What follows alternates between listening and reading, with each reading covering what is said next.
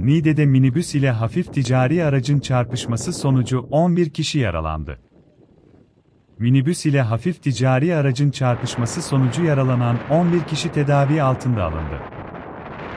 Özel bir rehabilitasyon merkezine AITG idaresindeki 51B022 plakalı servis minibüsü, Yıldıztepe Yaylayolu Karayolu'nda RD'nin kullandığı 51 AAP 417 plakalı hafif ticari araçla çarpıştı. İhbar üzerine kaza yerine jandarma, AFAD, itfaiye ve sağlık ekipleri sevk edildi. Kazada yaralanan sürücüler ile 5 öğrenci, 2 veli, 1 öğretmen ve hafif ticari araçtaki bir yolcu, Niğde Ömer Halis Demir Üniversitesi Eğitim ve Araştırma Hastanesi'ne kaldırıldı. RD'nin durumunun ağır olduğu öğrenildi.